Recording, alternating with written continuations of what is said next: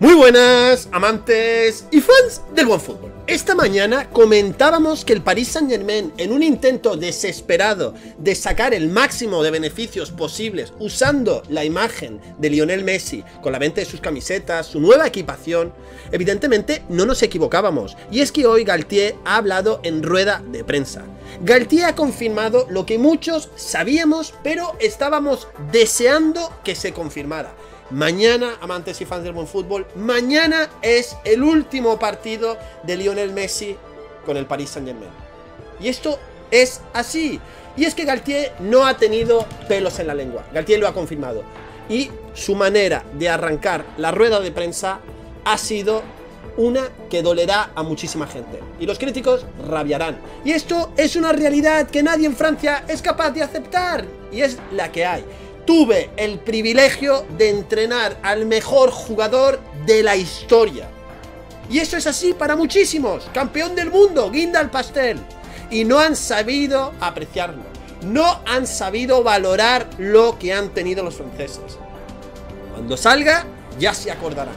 Y es que Galtier no se queda ahí. Galtier va incluso más allá. Y es cierto que en muchos momentos Galtier se ha visto atado de manos no ha podido reaccionar. Cuando sancionaban a Messi, él decía que no podía hablar, que era una, decisión del club y evidentemente es una posición complicada. Pero siempre que ha tenido la oportunidad, el técnico ha hablado maravillas de Lionel Messi. Fue de los pocos del Paris Saint Germain que no tuvo reparos en decir a la vuelta del Mundial que estaban contentos porque el mejor jugador del mundo volvía a estar disponible para el Paris Saint Germain. Y no Kylian Mbappé como nos quería vender en la prensa francesa. Porque en ese momento, cuando todos los rabiosos pataleaban hablando de robos de Argentina, Galtier no tuvo pelos en la lengua. Al igual que Galtier en ningún momento ha tenido dudas que en el sistema la clave hubiera sido darle más balones a Messi. Darle más ese papel de creador, pero si no llegan balones, evidentemente, o si el equipo no termina de acompañar, porque esto no se le puede llamar equipo, es muy complicado, muy complicado. Y Galtier dice que mañana será su último partido en el Parc de los Princes. Y es así. Y lanza un mensaje para todos esos ultras, para todos esos franceses mediocres.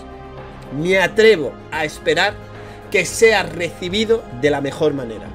Y es que a Galtier, al igual que a Henri, al igual que a Petit, al igual que muchísima gente, nos parecen ridículos los que lo reciben con pitos, con silbidos. Y no me extrañaría nada porque no me extrañaría nada, amantes y fans del buen fútbol, que mañana se repita la historia. Tristemente, creo y pienso que mañana se repetirá la historia.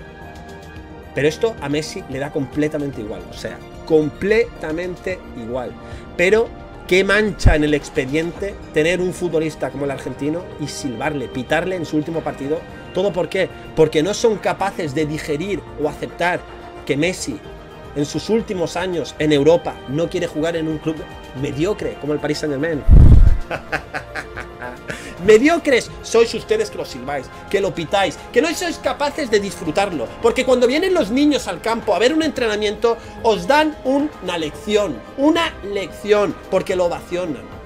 Y evidentemente, lo digo siempre, ha habido momentos en la temporada que yo comprendía perfectamente que la afición se echara encima del equipo y pudiera tener un descontento. Pero no lo que hicieron ellos, usar de cabeza como cabeza de turco a Messi y a Neymar, mientras protegían a otros con favoritismos. En ese momento queda en evidencia que esto es odio, que esto es una campaña, que no están siendo objetivos ni muchísimo menos. Y Galtier lo vuelve a decir me atrevo que, sea, que lo vayan a recibir, cosa que esperamos que suceda. Yo no tengo mucha esperanza. Se han dicho muchas cosas sobre él, pero tuvo que adaptarse en su primera temporada y este año ha sido un elemento importante siempre disponible. Los números hablan por sí solos, amantes y fan de buen fútbol. Los números no se pueden esconder, no se pueden mentir. Creo que ha habido algunos comentarios y críticas que no están del todo justificadas. Y esto es así. Galtier no tiene dudas en decir y admitir que para él ha sido un gran privilegio tenerlo ahí toda la temporada. ¿Sabéis lo que es para un entrenador, un jugador de fútbol, poder decir el día de mañana que ha compartido vestuario, equipo, con uno de los mejores, o sea, ya no lo voy a poner ni como el mejor, para aquellos que tengan preferencias otros jugadores. Uno de los mejores de la historia, un tío que vayas donde vaya, ha hecho goles, asistencias, jugadas increíbles. Un tío que con la humildad que tiene, ha logrado todo lo que tiene.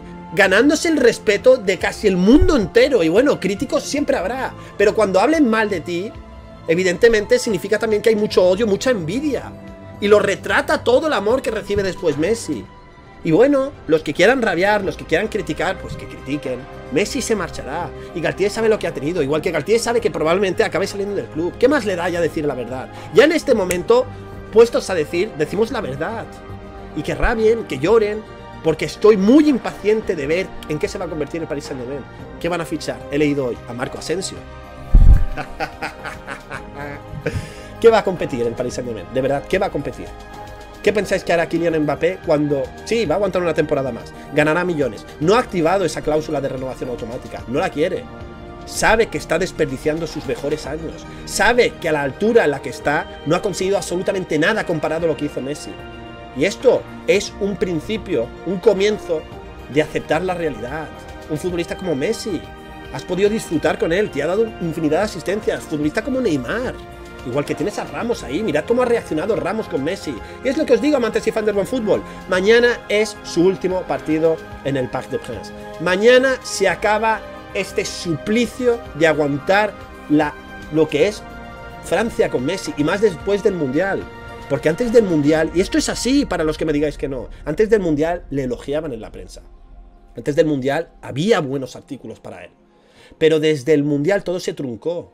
Y eso es lo que pasa cuando la soberbia se ve afectada. Sus aires de grandeza se vieron tocados, le dieron en todo el ego a los franceses. Y, a final de cuentas, esto es lo que va a quedar. Así que comentadme, amantes y fans del buen fútbol, ¿qué os parecen estas palabras de Galtier? ¿Qué os parece el futuro del Paris Saint Germain? Desde luego que vendan, que vendan y aprovechen la imagen de Messi porque el chiringuito se le va a acabar. Y hablando de acabar el chiringuito, ojito porque el chiringuito tengo que hacer un vídeo de lo que le están haciendo. Me parece muy fuerte que esté llegando con lo que está llegando, cuando ellos mismos son después los que hacen las mismas campañas y hablan de esa misma gente para atacar al Barcelona y enorgullecerse de cómo al Madrid. En fin, Comentadme que como siempre os leeré en caja de comentarios. Hasta la próxima.